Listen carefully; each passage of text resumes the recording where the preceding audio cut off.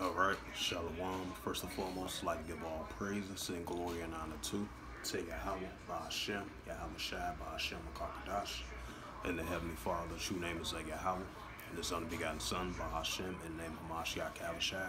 Those are their true names in ancient Paleo Hebrew, the last one Kadash, the old tongue. And I say Shalom to the uh, elders, Wa'akim, Wa'akwaf, and I say Shalom. And this is a uh, sit down lesson of uh, Second Esdras 9 and verse 3.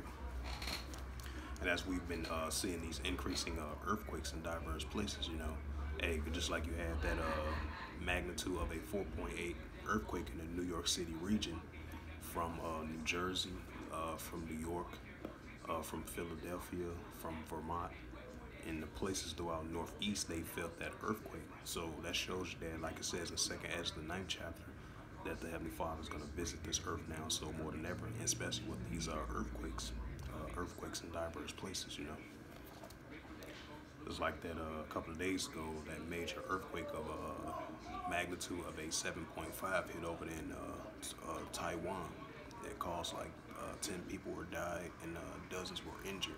And I believe still unaccounted for, still missing, you know, as a rescue plan is underway over there in Taiwan you know, which took place a couple of days ago. Like I mentioned, that major magnitude of a 7.5 earthquake. So that shows you that the Heavenly Father is visiting this earth now so more than ever, you know, with the earthquakes in diverse places. So we definitely going to continue to see the increasing of the high impact of these high magnitude of these earthquakes in diverse places, you know. Just like that uh, earthquake uh, over there, uh, the Pacific Islands, the North Pacific Islands, if I'm not mistaken uh, day before yesterday, that was a 6.8 uh, magnitude of an earthquake. So we definitely seeing these uh, earthquakes in diverse places at a higher uh, magnitude scale, you know, so we're seeing it. This is, uh, I would say like two weeks ago, you had over there in uh, the West Coast, you know, Portland, Oregon, but it was outside of Oregon, you know, that region over there. And you had like, what, three or four earthquakes in less than within an hour within itself. About five earthquakes within an hour, you know. It went from a, a scale to 3.1 to like 5.7. Just like those recent earthquakes that have been, uh, there was some more recent earthquakes outside of uh, California from a, Richter scale from like a 4.0 to like 4.2, right? Because one was 4.1 and the other one was 4.2. So that shows you once again an indicator that the Heavenly Father is going to visit this earth as is mentioned in second Esdras ninth, ninth chapter, in Isaiah 29 and verse 6, thou shalt be visit of the Lord Yahweh thy power, with, uh, with storms and tempests and flames that are fire, especially with these uh, earthquakes in diverse places. You know, so it's going to be earthquakes in places that you wouldn't expect to get hit by an earthquake in a very long time. And it's going to be unexpected in places that where you never seen an earthquake got hit before in these areas and places you know, right along with the tornadoes, the storms, the earthquakes, the floodings, the famines, the pests, the plagues. So that shows you that the Heavenly Father is going to visit this world, this world now, so more than ever, which He created, which is the true living power, uh, the God of Israel, which is Yahweh of Israel, and definitely uh, earthquakes in diverse places. And then recently, uh, I would say day before yesterday, about two or three days ago, you had an earthquake over there in Japan, and that was a uh, that was a magnitude of a 6.0 magnitude of an earthquake. So, like I mentioned once again, so we definitely going to continue to see these earthquakes in diverse places, and the Heavenly Father is going to continue to visit this earth now, so more than ever. And this is uh, Second Esdras, chapter 9, verse 3, from the apocryphal books of the Holy Scriptures. It reads, "Yeah." It says, uh, therefore, when there shall be seen earthquakes, right? Earthquakes, the high magnitude of these earthquakes in diverse places. And we're going to continue to see it increase more and more and more, you know.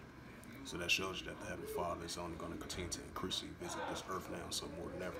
And I'm going to read that. This is uh, 2nd Esdras 9, verse 2. It says, Then thou shalt understand it is a very same time where, wherein the highest, which is the Heavenly Father, Yahweh thy power, will begin to visit the world which he made, right? So the Heavenly Father is going to continually, ultimately visit this earth now so more than ever because he's the true creator, the true living power. He's the creator of everything that's living and existing, which is Yahweh thy power. So it has nothing to do with Mother Nature, climate change, the change in the climate. No, it has something to do with the Heavenly Father visit this earth now some more than ever. See you later, Aunt. I see you see dressed up and everything. Yeah. All right, y'all. Let they come. Let they come. okay. I talk to y'all. All right, mom. So yeah, I'm gonna read it again. Second Esdras 9 verse 2. It says, Then thou shalt understand uh, it is a very same time when the highest will begin to visit the world which he made. Right, so the Heavenly Father is going to visit this earth now, so more than ever. Second Esdras 9 verse 3. It says, Therefore, when there shall be seen earthquakes and upwars in the people of the world.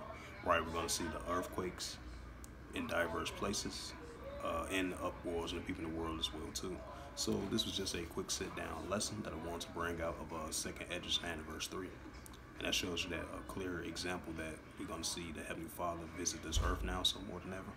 And we're going to see the increasing of these uh, earthquakes in diverse places. Now we're starting to see more and more the Heavenly Father is about to visit this earth now, so more than ever, with the tornadoes, the famines, the pestilence, and plagues. Matter of fact, we'll bring up that second Esdras 15, verse 5. Bring out one more scripture, then I'm going to officially close out. So this is basically just a quick sit down lesson of second Esdras 9, verse 3. And that was the title of the sit down lesson. So I'm gonna bring out one more scripture, and this is a uh, second Esdras 15 verse 5 from the apocryphal books of the Holy Scriptures, and it reads, It says, Behold, saith the Lord Yahweh thy power, and I will bring plagues upon the world, the sword, famine, death, and destruction. Yup, so the Heavenly Father is gonna bring the sword, the famine, death, and destruction. He's gonna bring the earthquakes in diverse places, the famines, pestilence, and plagues, the tornadoes, the earthquakes, the landslides, the famines, pestilence, and plagues, etc. You know. So with that, hopefully this uh, sit-down lesson was edifying of uh, Second Esdras 9 verse 3 from the Apocryphal books of the Holy Scriptures.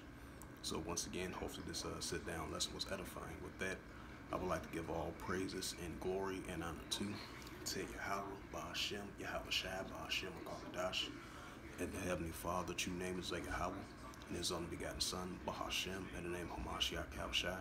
Those are their true names in the ancient Paleo Hebrew, the Lashwan Kadash. And I say shalom to the uh, elders, Wa'akim, Wa'akwaf.